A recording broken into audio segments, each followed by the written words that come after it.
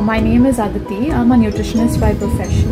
Last month I was down with COVID and I had a severe uh, congestion in my chest and I was unable to breathe. I have uh, I had uh, a lot of shortness of breath and uh, post which I had to take help from a physiotherapist uh, which was recommended by a doctor so I uh, immediately got in touch with Dr. Sana who's like amazing with her physiotherapy skills which helped me a lot it you, you could see her uh, the effect of the physiotherapy immediately as I would uh, all the sputum uh, post exercise would come out and make me feel better and it just made my breathing more easy and made my recovery fast.